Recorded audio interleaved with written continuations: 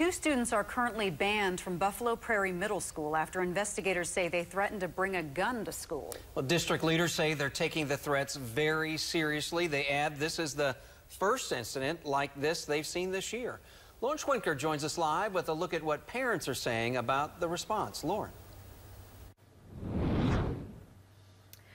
Paul, the Buffalo Police Department posted this to its Facebook page early this morning, alerting the community about the threats. And PD says luckily no guns made their way into the school, and parents say they're grateful for the extra response and staff that were there this morning for drop off. It's always nerve wracking. You always wonder if you should like send your kids to school or if you should keep them home. Lacey Holland is one of many parents uneasy about sending their child to school Wednesday morning.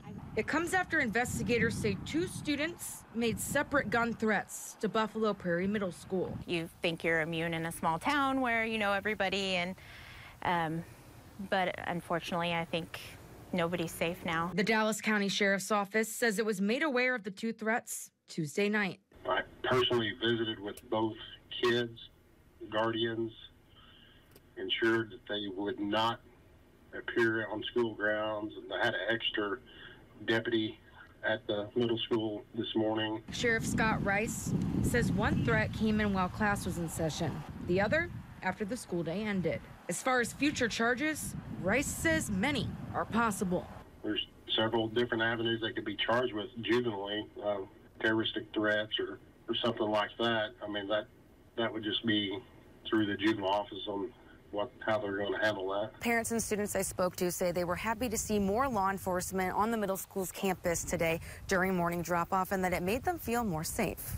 It makes parents feel safe as well, knowing that they're taking any threats seriously and that um, they're here to watch over our kids and make sure that they're going to school safe. The Dallas County Superintendent tells us the district and law enforcement always take threats like these extremely seriously. Moving forward, Holland wants the district to notify parents before pickup.